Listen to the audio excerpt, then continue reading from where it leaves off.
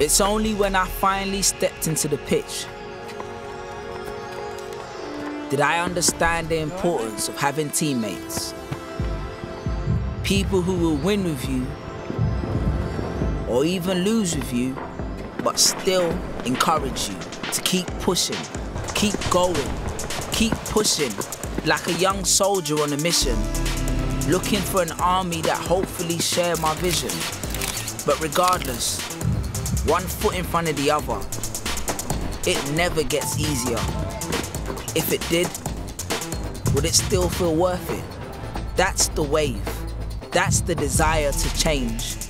That's what makes us different. That's what makes us winners. That's what makes it worth it. That's the wave.